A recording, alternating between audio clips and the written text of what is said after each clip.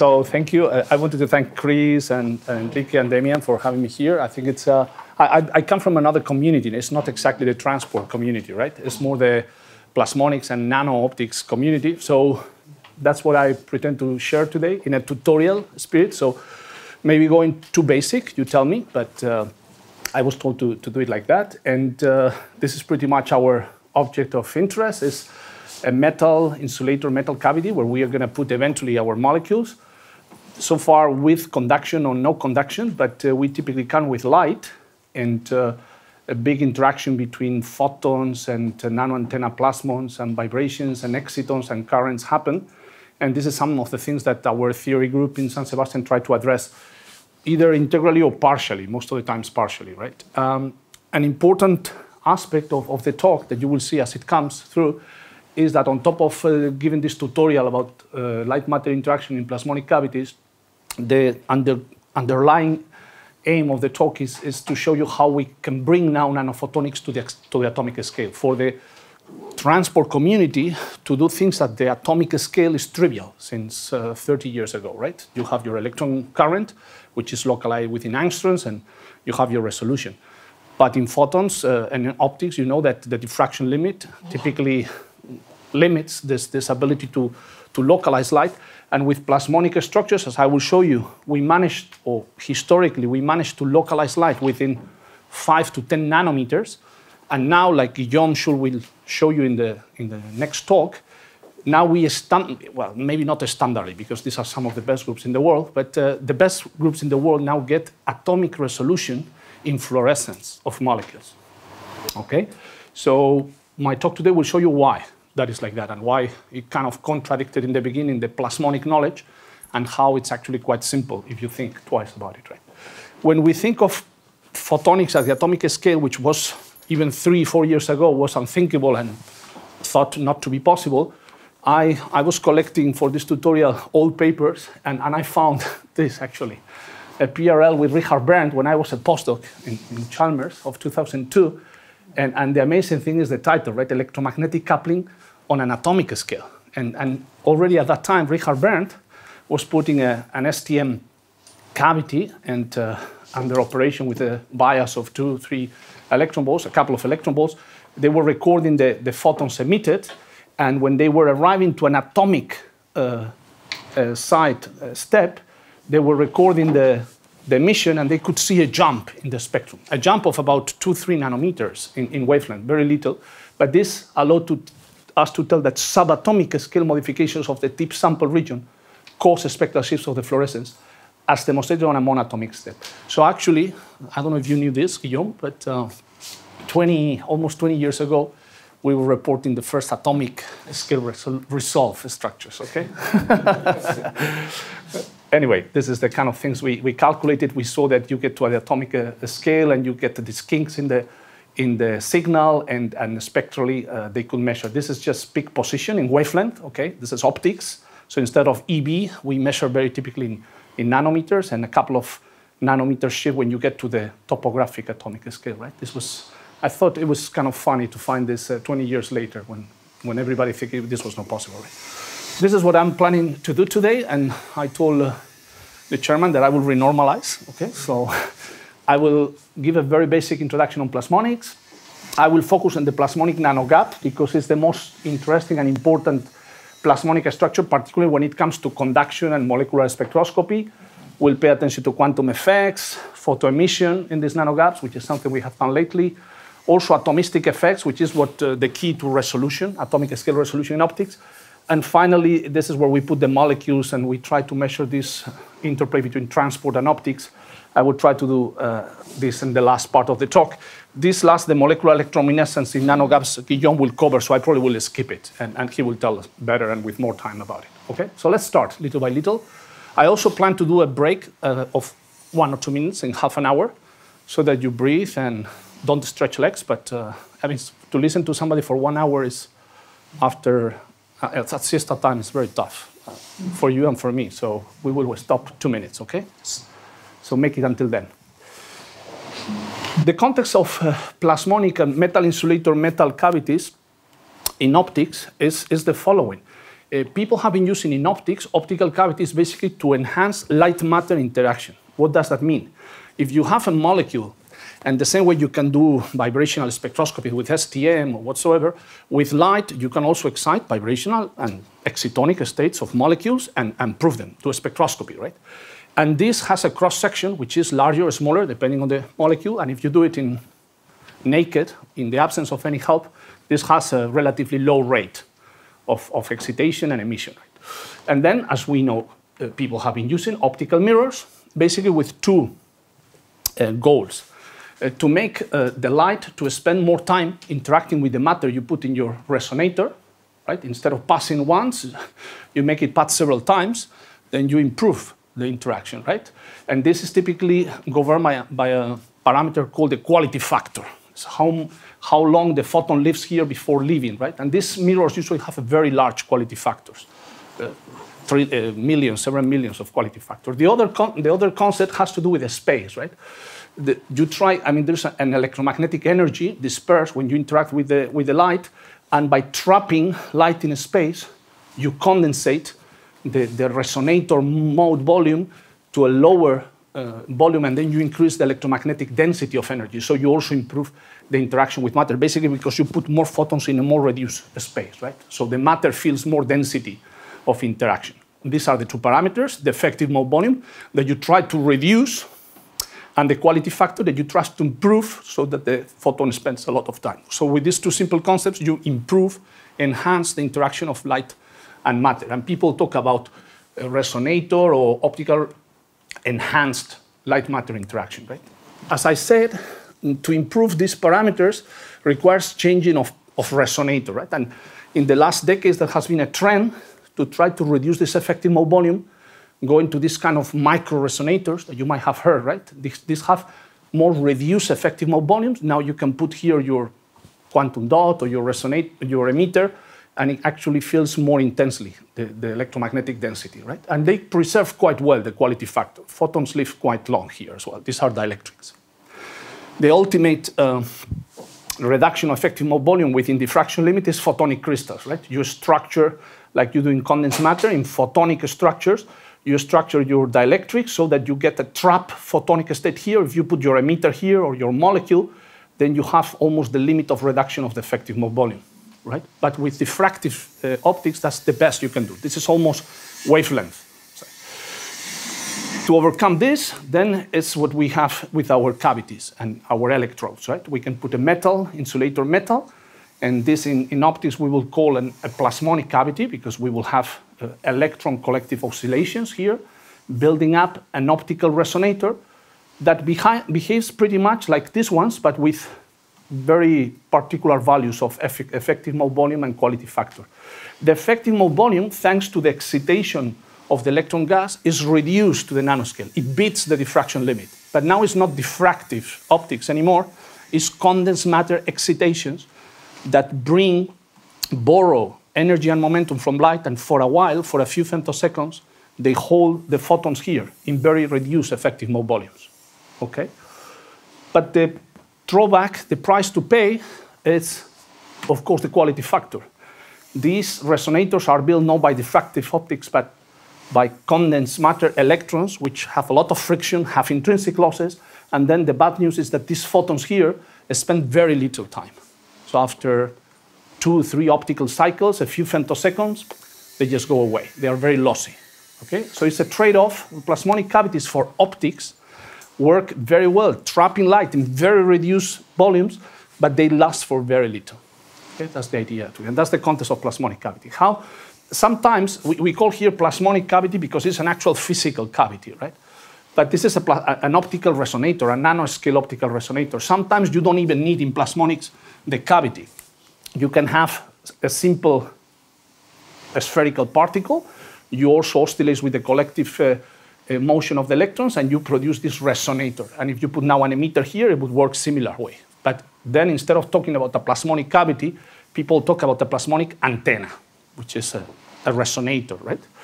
So here in this case, the plasmonic antenna, because physically it's a cavity as well, we call it a plasmonic cavity. But you don't need to get confused. A plasmonic nanocavity, a plasmonic nanoantenna is the same thing. It's just a trapper of light in the nanoscale. Okay?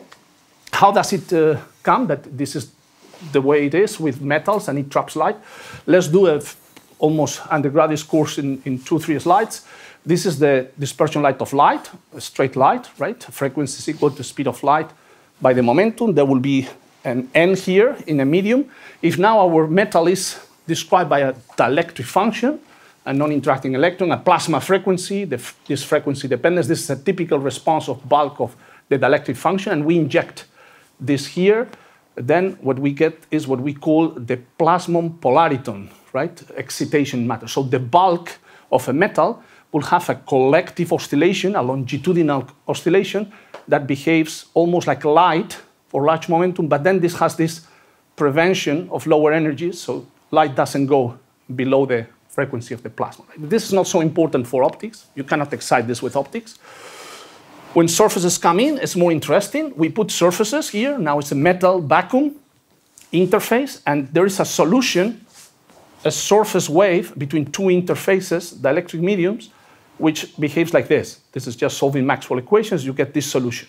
And now, if in this solution, in the metal, you put the, the Drude function, you get what we call the dispersion of a surface plasmon polariton, which is nothing but the surface charge density of the metal here propagating, propagating in time and space, right? And you can see how it's bounded also by the surface plasmon value. And this is pretty much the ID of this excitation at the surface.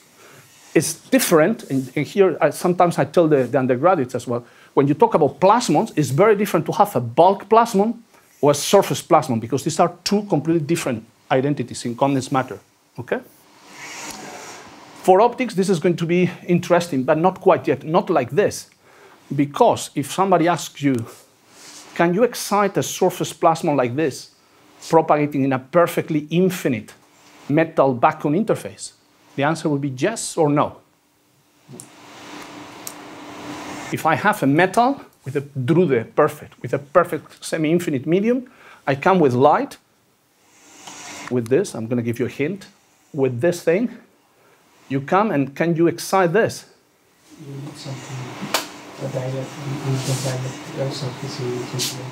You need something right? Because to exchange one type of uh, excitation into another, you need a matching of energy and momentum.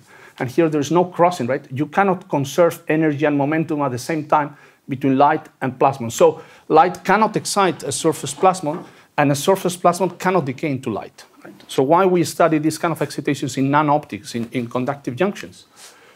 Because the thing the interesting thing comes when we take this infinite surface, which has this dispersion, and we close it and make it finite. Okay, I'm going to take this. Topologically would be like a rod, right? But imagine it's like a wrapping of a particle, right? And we get this particle, which is a confined structure with a radius A, size A, and this closure of the geometry produces a bounded stationary solution of this propagating wave, right? Like in any stationary wave uh, situation. But now, this geometrical matching produces a geometrical momentum. I could put here kg, a geometrical momentum, which is an integer, the number of, of rounds, divided by the size, right? It's, it's the inverse. The momentum provided by the geometry is the inverse of the size. And now, in this geometry, in this finite structure, you can confine the plasmon. Now it's not propagating in the surface. It's, it's oscillating in time, but it's confined in space. And this confinement in space produces the provision of geometrical momentum that allows to match photons and localized plasmons. Okay, so that's the reason why plasmonic structures, nanoantennas, finite structures couple very well to light because of the drude, the, the metal response, plus the geometry both together give the confinement of light to sub or nanometer or you will see sub-nanometer dimensions, okay? So this is very interesting because this is basically the, the root of all nano optics.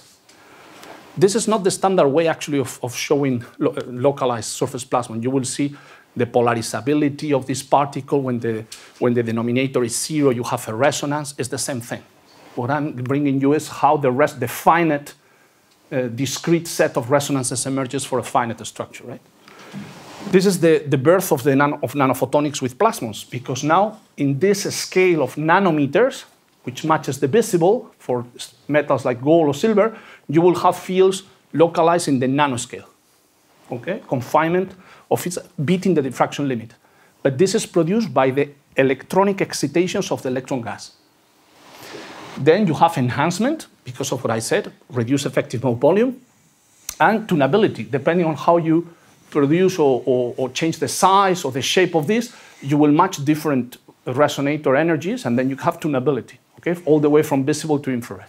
So we have localization of light in the nanoscale, tunability, and enhancement of the fields. That's nanoptics. How does it work? We can do experiment. We have a nanoparticle, a nano antenna, still not a nanocavity. We come with light.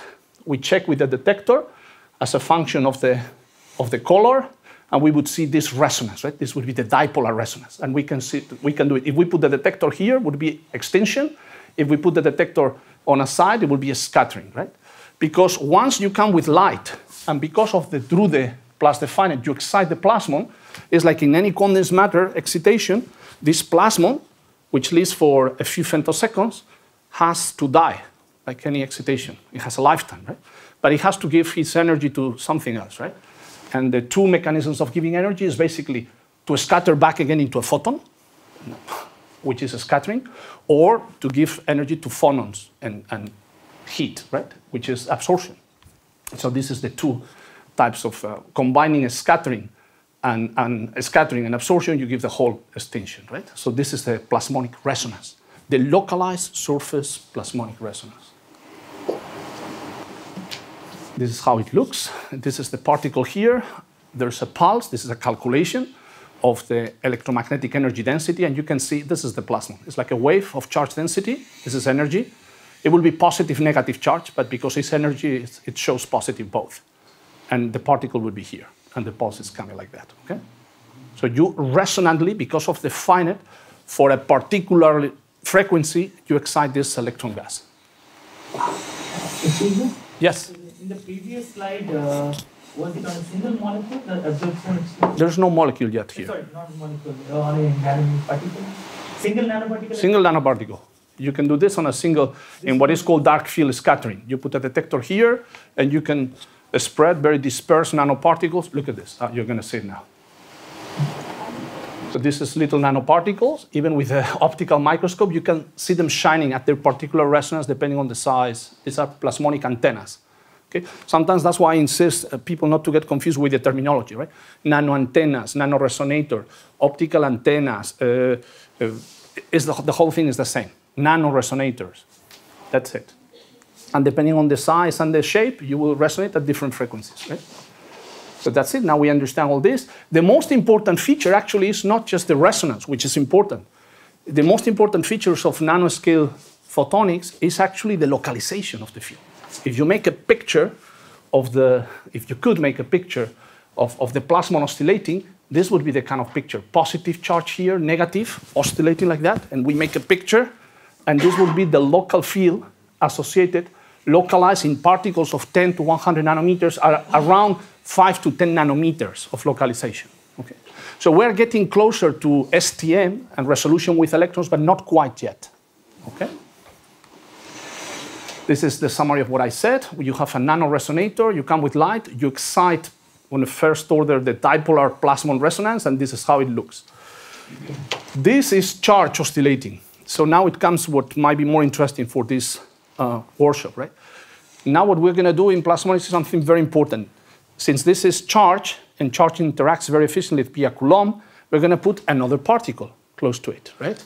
So when we put another particle close to it, the resulting resonance is not just the sum of, of both. It's a kind of hybridization of the resonance via this Coulomb interaction.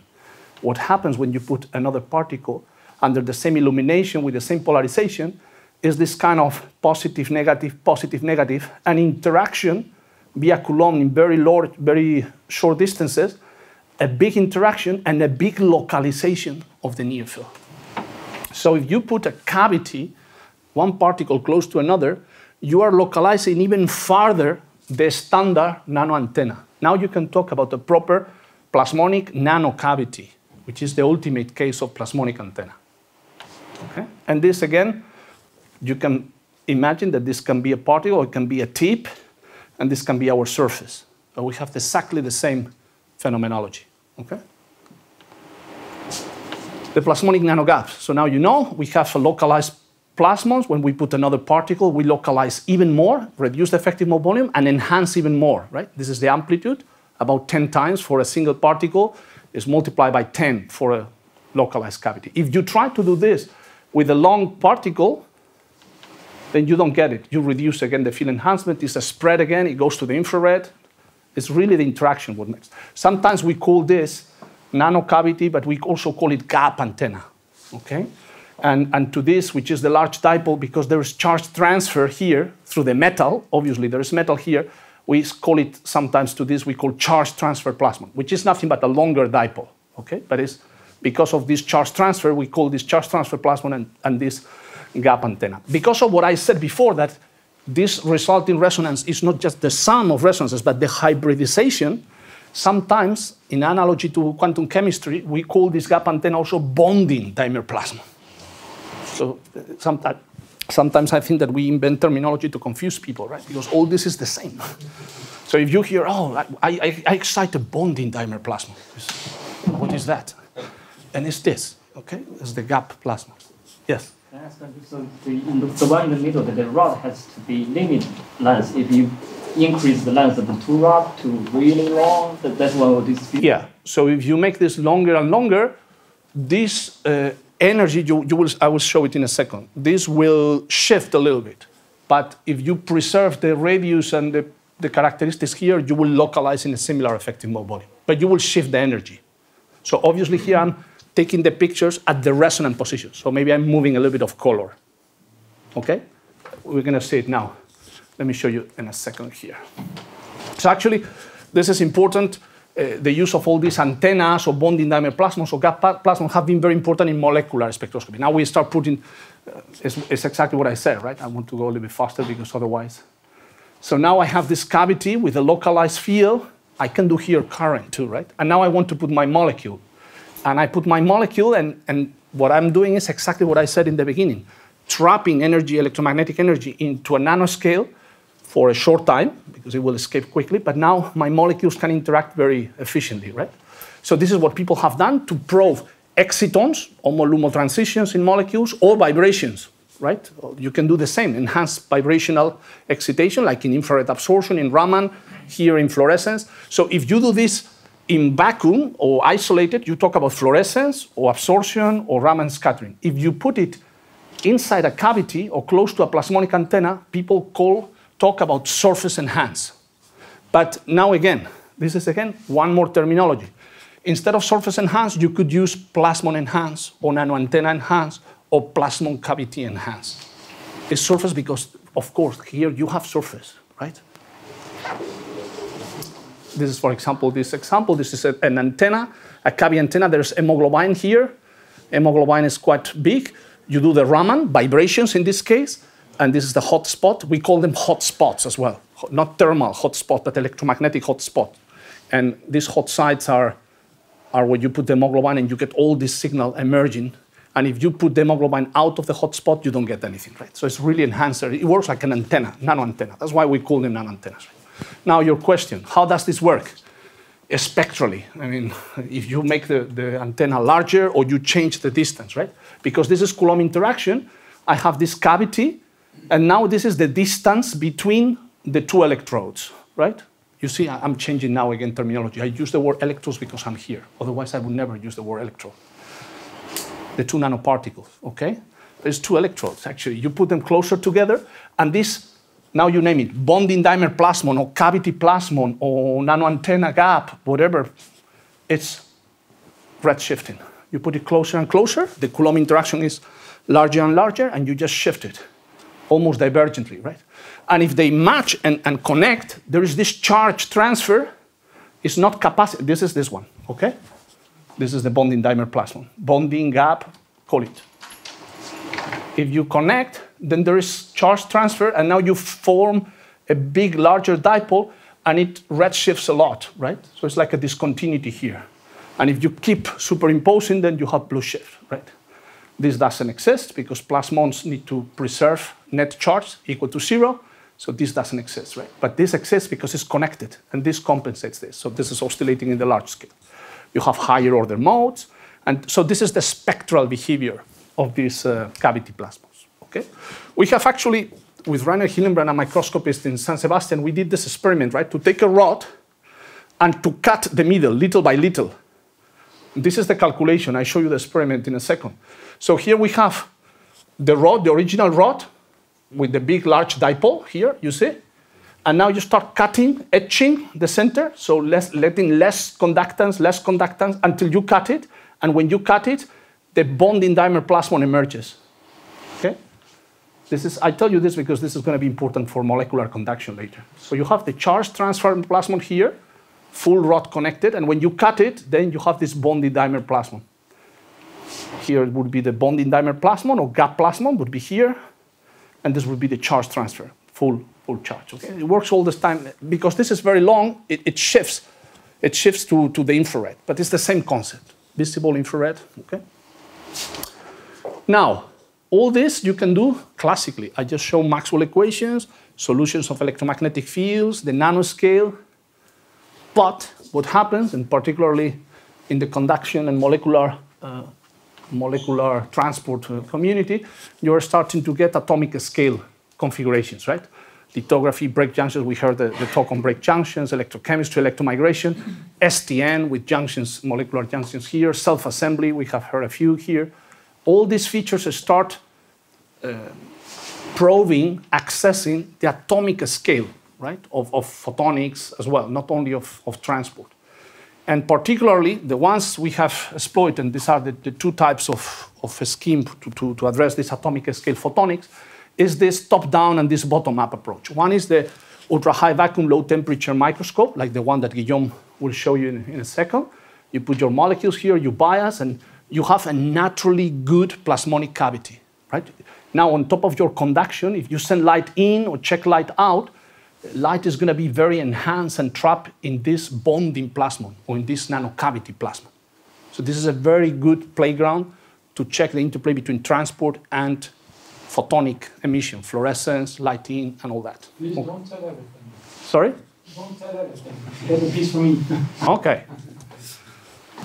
The other uh, approach is more bottom up, right? It's uh, you put a metal you deposit, deposit your self-assembled monolayers of molecules, like the ones Chris develops, the ones we have seen, which I, I told the other way joking that uh, this is a more dirty approach, right? Of course, you don't have ultra-high vacuum, it's not single molecule, low temperature. This is very often room temperature, self-assembly, a lot of dangling bonds. I But- you should not say dirty, but realistic. And I was told by Richard Van Duyne not to use the word dirty when it comes to wet chemistry, self-assembly, but to use realistic, right? So realistic chemistry that gives a more down-to-earth system. On top of the self-assembly, you deposit a gold nanoparticle, and you create the same situation. We call this nanoparticle on a mirror. The mirror is the metal, right? And you create, if the self-assembled monolayer is one nanometer, you have a one nanometer cut plasmonic cavity. And you can send light in, check dark field microscopy. It's very hard to bias this. So people try, people are trying.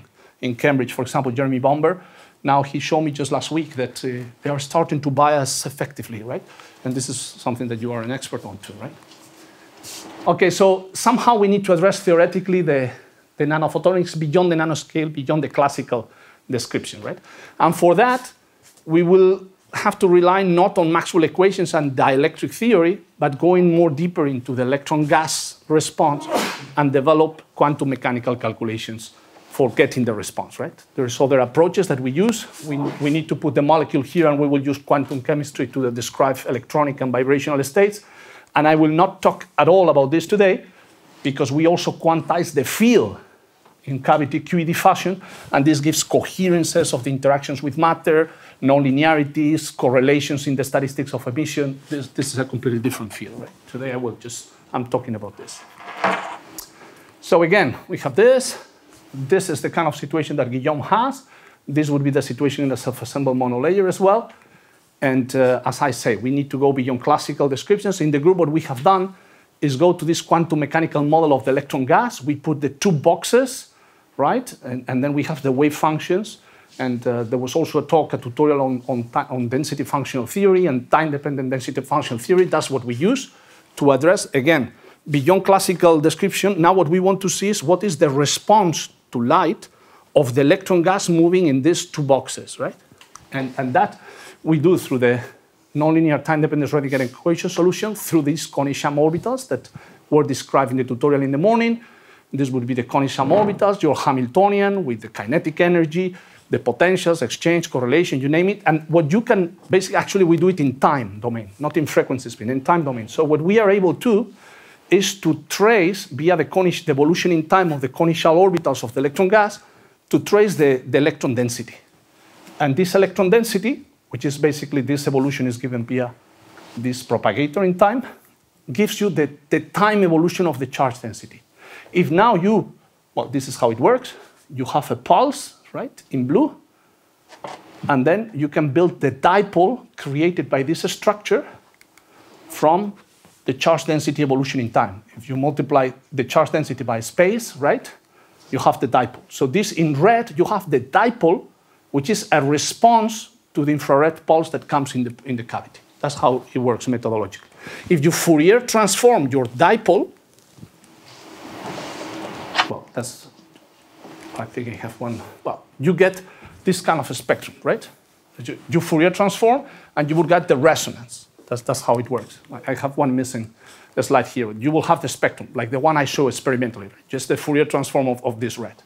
Okay? What is the axis? Yes? What is the axis? The axis is time, sorry, Scott. Time Time of the pulse is an infrared pulse that comes in here. You let the electron gas with all the exchange correlations many body to go crazy in time. They follow. This is the red line. And now the red line you Fourier transform from time to frequency. And then in the frequency domain, you would get in the frequency domain, you would get a resonance, which is your plasmon. Okay? So before I stop uh, for the midterm, I want to by doing this, you address something that in nanoptics is very important that is not standardly done in, in classical nanoptics. You take account of quantum size effects, of how the electron gas responds uh, when it's quantum confinement, non-local interactions, so it's not epsilon of omega, it's, it's epsilon of q and omega, right? It's non-local description. The spill out, which is so important in the cavity, atomistic effects later, not in this jellium kind of description, and electron tunneling. Okay? And that's what I'm going to show you. I suggest that because it's half time, I, you need uh, one minute of rest. So I suggest that you take the person you have on the right and you tell them something. that, uh, well, uh, do, did you understand everything or what? You just talk to yourself. or whatever, just one minute to, to comment if you got everything or if something is not clear or, Can I ask yeah, sure. Um, I will put myself to the right so you can talk to the right. So you claim that the uh, when the surface is infinitely big and you won't cover the light and the plasma, but in this configuration you have a, a plane and you have an STM tip, and these two subjects can be regarded as infinitely big. And how Yeah. in density you can cover the light and, and Yeah, but the, the, once you go large enough, you lose, you get to a kind of a saturation of the spread of the charge, and what matters is where you localize in the cavity. Okay, so once you make your tip micron size or whatever, or centimeter size, it doesn't matter anymore what happens there. You still localize the plasmon in the cavity. But the charge, the compensating charge, is spread along the long walls of the tip, so to say. There's a point where if you make it longer, it's so little charge that it doesn't matter how it spreads along the big, big wall. What matters is the localization in the gap. Okay. I, I have a question. So how do you uh, account for the heating effect if you in the junction The heating effect where? In a classical description or? In a nano between two nanoparticles if you apply Yeah, in, in, in, practice, when you apply laser to a nanogap, you heat. heat? Which, uh, here in our description, that heat comes through a phenomenological damping, right, in the imaginary part of the dielectric function, which is intrinsic losses. That's the, and that's the heat, so to say, right? But in practice, if you come with your laser, we know what is the damping, but if you come with your laser continuously and, and it's heating, heating, heating, you, you melt. Okay? Yes. But we incorporate in the classical description through the phenomenological damping, and that gives you a little bit of fun on the intrinsic losses. Can you put some number over there? So let's say you use separate light, uh, so what do you need uh, in size and plasma frequency?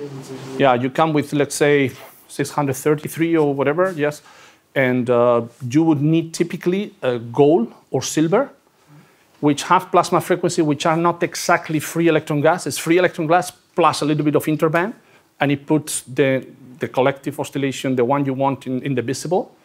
If you use, for example, sodium or aluminum, it goes to the ultraviolet. So that's not useful for optics. So for optics, that's why people use gold and silver, typically. So you will see that in many experiments, people use a silver surface and silver tip. That's very good. It's very little lossy.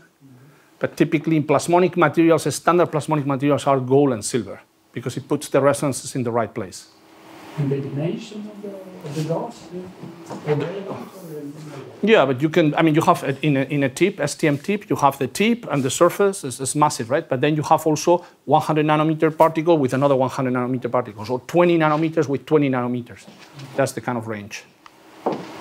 Nanometer scale. But again, a tip, an STM tip or, or a particle or, or an electrode in the very ends of the electrodes connecting molecules, that's the kind of thing you have. But, but of course, an electrode, an electrode is also more realistic, more dirty in the sense of the metal, right? When, when it becomes larger and larger, it's very rough. Okay, so we continue. I will have to renormalize a lot, but it's, so, so but, but this is interesting because it's conduction, right? So when you do classical Maxwell equations of this antenna cavity, this is exactly what I showed you before, but this, again, may be confusing because now here is electron volts, it's energy. Before I show you wavelength, it's the inverse.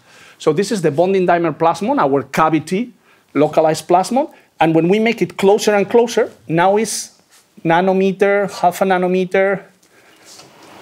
Maxwell equations, classical Maxwell equations would give you this kind of behavior.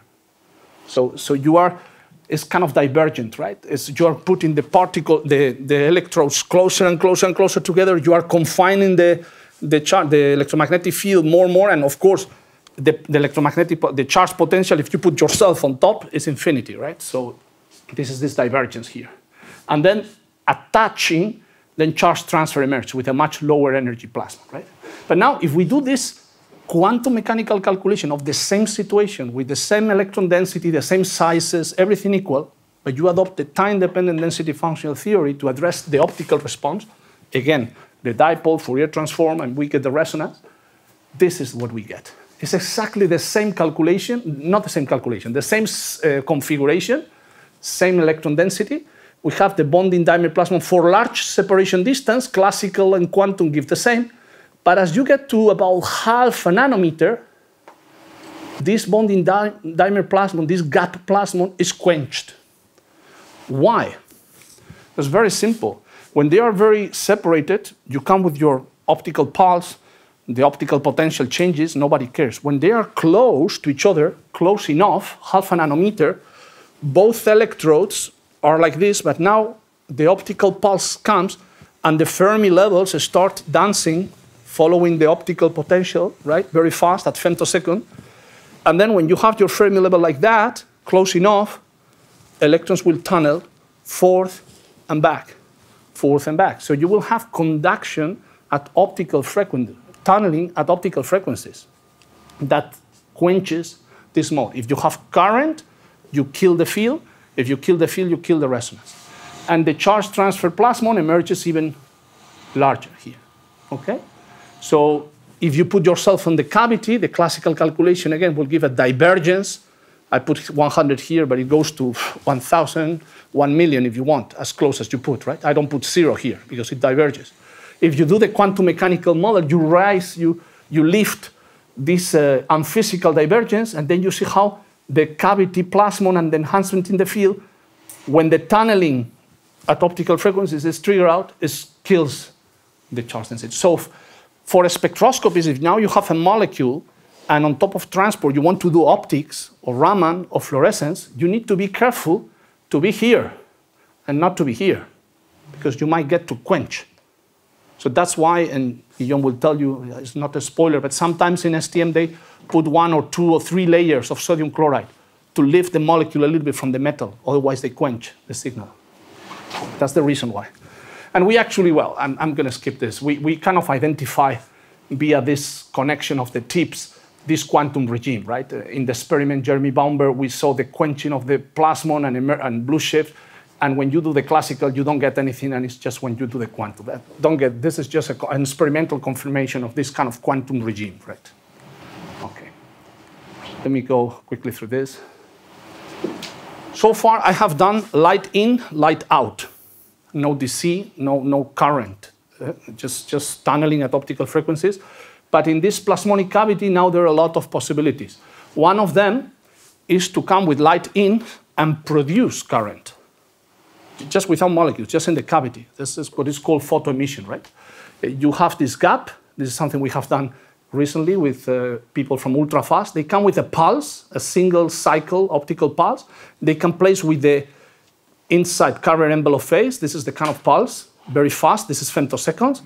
And now you kind of photoemit, produce this photoemission of the electrons, and the photoemission of electrons will follow pretty much the carrier envelope phase of this pulse and you will have, depending on the size of the gap and the intensity of the pulse, you will have a very complex dynamics of the electrons that will give a final current, right? If you, this is the kind of situation, you come the pulse here, which is positive and negative, and then this makes the Fermi levels to oscillate, and then the electrons are ejected and quiver depending on the pulse, okay? This is at the same time pulse, potential landscape, and emission of electrons.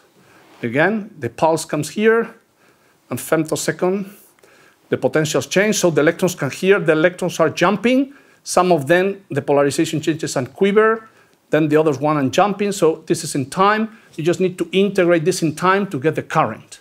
And this quiver of electrons, this is actually very novel, to be able to, to follow the electron dynamics with this time-dependent density functional calculations within a gap.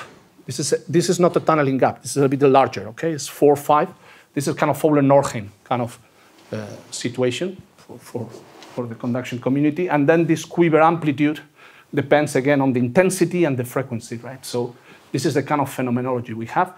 This is our theoretical calculations, right? This is this pulse produces this kind of burst of current, which is smaller in time than femtosecond. So you have like attosecond bursts of current. But because this is a repetition rate, you can produce a DC current in this way, right? This is just for, for, for the experimentalists here, this is the kind of thing that uh, Albert Leitenstorfer does in Constance here. And uh, they have this kind of bow tie. This is the plasmonic gap. They come with the pulses, actually two identical pulses with a delay. And now they can measure the correlation of the currents here as a function of delay and as a function of the carrier envelope phase. This is pretty much the experiment I just mentioned. As a function of delay and as a function of carrier envelope phase, you have this burst. If you cut here, you will have the burst of current, which is below one femtosecond. So this is really attosecond dynamics, and these are correlations of, of. So I just wanted to share it very quickly. If you have questions, then I can answer later or in the coffee break. It's more complex, right? Now it's uh, when I think it becomes one of the most important aspects of the talk when it comes to understand resolution that will be extended by Guillaume later, right? So far, all I have said were connected with smooth surfaces right? A smooth meta. Even if you do a quantum mechanical treatment of the response, the quantum mechanical treatment was a, a a smooth jellium, so to say. So it lacks the features of the atomistic uh, uh, landscape, right? In other words, for us, classically or quantically, this is smooth, so to say. Now the question is, when we start playing with molecules at this scale, what happens with the atomistic description, right? And for that, uh, like three or four years ago, well, actually, maybe I, I, I are you going to show this? No, no, you can go. No, okay.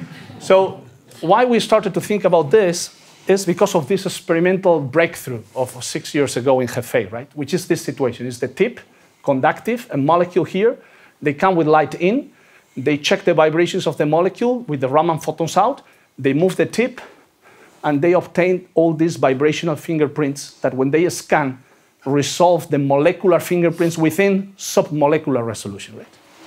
And at that time, six years ago, we were not able to reproduce this with standard plasmonics. I have seen you that I have shown you that plasmonics concentrates light down to five, 10 nanometers the best. If you get too closer, it expands. So we didn't know, I mean, we made some preliminary calculations, but we didn't know what was the source of atomic resolution with optics, not with currents, but with optics, light in, light out.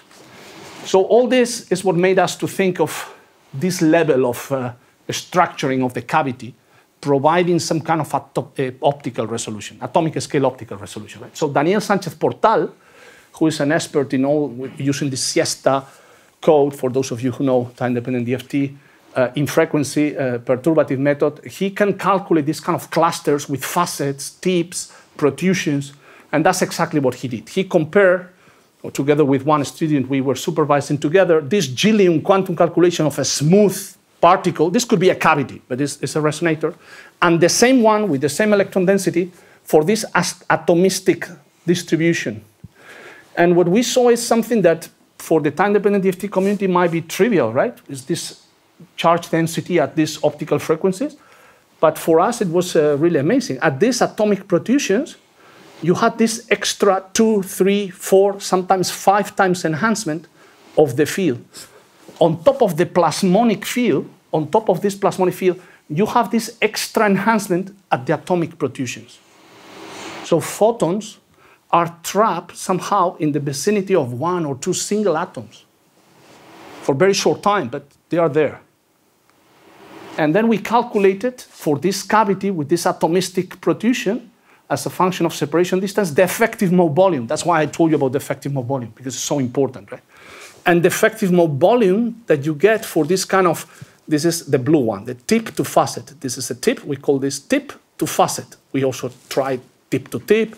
We try facet to facet. Here, the one shown here is the blue one, tip to facet. And you see that you get to effective mode volumes below one cubic nanometer. So light is being trapped at the almost single atom level. This is full state-of-the-art time-dependent DFT calculations. And it can be wrong, and there can be something else, but most likely the photons are trapped there, right? And now with this localization, and assuming this level of localization at the, the same way you say that the current goes out from these two or three atoms, in optics, the ultimate limit of localization are also those two or three atoms. Sometimes it's just a factor of three or four enhancement, no more. That's all one atom can give, but that's enough to be revealing the spectroscopy with a factor of two orders of magnitude because it goes to the square. Okay. And now with this level of localization, we managed to do in the cavity the full recovering of this spectral resolution submolecular, which, with optics, no current. So current is just a reference, right? Okay, I have 10 more minutes. So in 10 more minutes, uh, let me just share a couple of things. Uh, we have done also kind of relaxation. When you do relaxation, let me show you now, you know what is charge transfer, what is bonding dimer plasmon. If we clap the, the junction and now we make it, we stretch it little by little, this is the kind of situations we have, and we see in the optics these kind of jumps in the intensity and in the, res in the resonances, which are connected also with electronic states form, right? So you are making here a stretching, tracting, and you're producing like this kind of stationary, you can see, right? Red, blue, red, blue, now blue, red, blue, red. So you are creating this kind of conductance channels that are reflected in the optics. This actually is an experiment that nobody has done, but I think it would be very interesting to see this kind of conductance at the same time the spectroscopy to detect this kind of jumps in the, in the conductance. Anyway. Okay. I'm, i think I'm going to skip this, this transport uh, thing at optical frequencies. And uh, it just involves how we address junction, molecular junctions when we come with light, light in and light out, and how from the spectroscopy we can get information of the, of the conductance at optical uh, frequencies just by checking the spectral shifts. You have seen how by having charge transfer or not having charge transfer, you shift the frequency of your peaks. So now you measure the shift of your frequency of the peaks and you know how much conductance there is. So it's an indirect way of measuring the conductance at optical frequencies of a molecule. This just very quickly, we did with these two types of molecules. This is non-conductive. This is conductive. Jeremy Baumberg did the experiment. You put this uh, biphenyl dithiol here, just with the wind tile here, and then you see that when you have one, the spectroscopy, light in, light out, gives the resonance here. When you have the, the non-conductive is here. So there's a, a red shift, a blue shift here when you don't have no conductive. And that, checking this jump, you can see how much conductance you have through this. Okay, I don't have more time. It's actually basically again, right? It's a screening. The, you are screening the charge, the bonding dimer plasmon, the cavity gap. Uh, by screening this, you can get a relationship between the screening of the charge and the frequency shift, and that gives you. Here, for example, we we obtained that uh, we have like about 200 molecules, and each molecule have a conductance of about 0.70 G naught. Okay, just for you to know. This is what I wanted to discuss in the last 10 minutes, and this I will leave for, for Guillaume. So plasmon exciton coupling, right? This is the situation. Actually, all that that I have explained, we, we did in the end for this, to obtain more efficiently information on the molecular excitations. Now we forget about vibrations, we do the excitons, okay? An exciton is nothing but a dipole here, right? A dipole located in the vicinity of a local field, right? That's what I'm going to say. This is the excitonic emission. This is the plasmon, which are decay kappa. This is the decay of the plasmon. This is the decay of the, of the exciton of the molecule. And we put this exciton in our optical resonator, which is a plasmon. So these guys, the plasmon field and the exciton, interact. The best way to describe this interaction is through the local field of the plasmon and the dipolar moment. Okay? How we address the energy of this interaction? Very easy. The energy of this interaction is the product of the dipolar moment in that local field at that point. Right? Everybody follows? So sometimes this energy of interaction, we call it coupling energy or coupling strength or coupling rate. Again, it's the same, right? It's an energy, it's a coupling rate. And all we need to know is how strong or how large this coupling strength is. Obviously, it will be larger if the dipolar moment of the exciton is larger or if the local field is very large, right? So that the scalar product of, of both is large, right? So we can distinguish in that, in that interaction then two regimes. And you will hear in the literature very often talking about weak coupling regime. The weak coupling regime says that this interaction energy between the exciton dipole and the local plasmon is weak. Okay, it's not fast enough. When they want to start talking to each other, the plasmon has already de de decay or the exciton has already decayed. So if the coupling strength or energy or decay rate, the interaction rate is slower than the decay of the plasmon or the decay of the exciton, both excitations, you don't have time to interact. This is the weak coupling. In energy, in the energy landscape, this is just like kind of an interference between the optical mode and the exciton. So you have what you call even plas- uh, Fano-like profiles in the spectrum, right? This is like a continuum because it's broader. The exciton is uh, narrower. So you will have a continuum coupled to a discrete structure. You will have Fano kind of thing in the energy, okay? And this is what we, in the time domain we call Purcell effect. The optical resonator will accelerate the emission, but it won't change the energy landscape. The other um, energy re regime is the strong coupling. In the strong coupling, this energy rate, this energy interaction is large. It's very fast. So the exciton and the plasmon talk to each other very fast before any of them decays. This is the strong coupling. The consequences for this in the energy landscape is that both the optical resonator, the plasmon, and the exciton are not anymore two different excitations. They bind, they hybridize, and they create this kind of polaritonic, lower and upper polaritonic solution. The, the state is not anymore a plasmonic state or an excitonic state. It's kind of a mixed hybridized state. It's, that's in the energy landscape. In time domain, you would have the Rabi oscillation because the state is kind of jumping between one and another. Okay? This is the summary of what I have just said.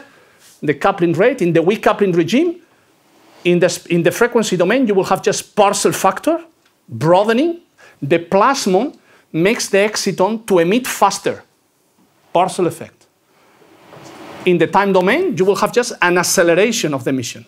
Okay? This is the normal emission when you put it in the plasmon, and this is what we call weak coupling regime. So sometimes when I hear some talks, in this strong coupling effect, in this strong coupling regime, the Purcell factor, the Purcell factor makes no sense in a strong coupling. This is weak coupling. If it's Purcell factor, it's weak coupling. Okay? Never use Purcell effect for a strong coupling because in a strong coupling, you have polaritonic split. This is the lower upper polariton. So in the spectrum, you will see the, the split. Now you don't have anymore the plasmon, you don't have the, exciton, you have a split, hybridized solution. And in the, in the time domain, you will have this Rabi oscillations. This is not Purcell effect, this is Rabi oscillations. This is Purcell effect, which is weak coupling. Okay? This is a tutorial. Right? Sorry, I don't want to insult anybody. so maybe you, 90% of you know this, but. So let me show you just two examples of this strong uh, light matter interaction in this conduction configuration, right? Again, the tip, this is the experiments of the, of the Chinese group. A silver tip, again, you, you see plasmonic uh, material, silver, silver. We have this zinc phthalocyanine that we have here some calculations about. And now, the nice thing about the tip, the STM tip, is that you can move the tip laterally, and you, with that, you are moving the, the plasmonic cavity, right? And you can make the molecule closer to the plasmonic cavity or farther interacting more or interacting less. These are the, the three positions I put here, right? So let's put the tip very far from the molecule. We just put the bias and check the light emission, which is a spectral fingerprint of the plasmonic cavity here. If we don't have the molecule, we just have the plasmon, then this is the light emission from the plasmon. No molecule, just the tip. This is the, this is the plasmon, the localized plasmon in the cavity, okay, emitted, driven by the current. If you put yourself with the tip on top of the molecule and you excite the dipolar exciton of the molecule and emit, then you have the exciton emit emission, right? This is the excitonic emission of your molecule, right? And now if you put in between, in the red, with this kind of interaction between exciton and plasmon, look at what you get. It's beautiful, right? It's a perfect interference. This is a Fano profile, right? It's the broadband plasmon interacting, interfering with the discrete emission of the, of the exciton, creating this interference, weak coupling Fano emission. At a single molecule level, single exciton level, okay? And why this is weak?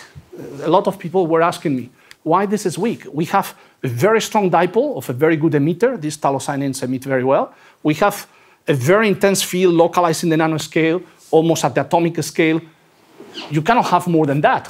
If you don't get a strong coupling and polaritonic splitting with this, where and when are you going to get it? So anybody can figure out why we have weak coupling regime here and not strong coupling. And the answer is very easy when we see this. The coupling energy, the coupling rate, is the scalar product of the local field acting on this dipole and it's the scalar product. These porphyrins have the dipole on top of the surface, and the local field is like this. So the scalar product is very small. It's not purely orthogonal, so it's not zero, but this gives weak coupling. You would get a strong coupling if you manage to align your dipole with the local field. This is what Jeremy Baumberg did in his particle on a mirror configuration here he put this methylene blue with the dipole kind of pointing up. He, he just put it in this barrel, this cucurbituril, for those of you who do chemistry, cucurbituril.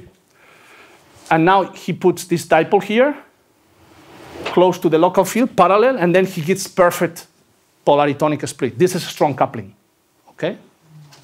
It's the kind of the interference taken to the limit, okay? With two polaritonic branches, okay? And in the last minute, what I wanted to flash you is, is the following. All I have told you is very simple. People in optics, we are very simple compared to you guys. I, I really mean it because I see all these mm, transport calculations with quantum chemistry, very sophisticated things. And for years and years and decades in optics, what we have done to, to address these issues is to say that the exciton is a point dipole. So we were putting here, in a, this can be a cavity, an antenna, our point dipole. You get your field, it can be a cavity, your point dipole. And actually, when you put the actual molecule, the, the actual molecule is not a point dipole at all, right? It's, ex, is, is, extended. If you have a, an extended illumination, it doesn't matter. But when you have this strongly inhomogeneous plasmonic illumination, the interaction between the exciton, the quantum chemistry of the exciton, and the inhomogeneous field, in other words, the electronic states convoluted with the photonic states can give very different. So and with this, I'm finished. So instead of using the coupling and addressing the coupling in this way with a point dipole, what we did with Thomas Neuman, one of my former students, is to calculate the whole quantum chemistry, the electronic transition rates in a space, distribution in a space, the plasmonic fields in a space, convolute, and get new, new, new coupling strengths. This is the, the dipole compared to this, and this is the, the, coupling, the mapping of the coupling strengths of this tip, this plasmonic tip that moves around the dipole. You can see in the point dipole, much, much less, uh, twice the value compared to this, and actually break of uh, circular symmetry. When you do the full quantum chemistry with the distribution of photonic states, you get the four lobes, the right values. So this is a way to incorporate quantum chemistry, optics, and Guillaume will show you what happens when you actually put the electrons here and you couple also the, the excitation rate with this emission rate, right? And I think uh, I'm gonna, that's pretty good. This is what Guillaume will tell you about. I told you that I will skip it, right? I wanted to acknowledge in this, even if it's a tutorial, the last part, Thomas Neuman, which was a key person, the photon emission from Gary Koch. This was more state-of-the-art last results. Mattin Urbieta in the Pico cavities and Ruben Esteban, uh, my collaborator as well. And, and, pretty much, just to finish, um, I think that this tutorial was kind of complementary to all you are doing, right? In the end of the day, what we are improving right now is all this coupling of photons, vibrations, electron hole pairs, nanoantenna resonance with a more precise quantum chemistry of the molecules and uh, interacting with electron currents, right? So, so far we have partially addressed some of these issues, but to address it all, you know that even without photons, it's very complicated. But if you put already photons there, it's even, it's even more complicated, right? So thank you.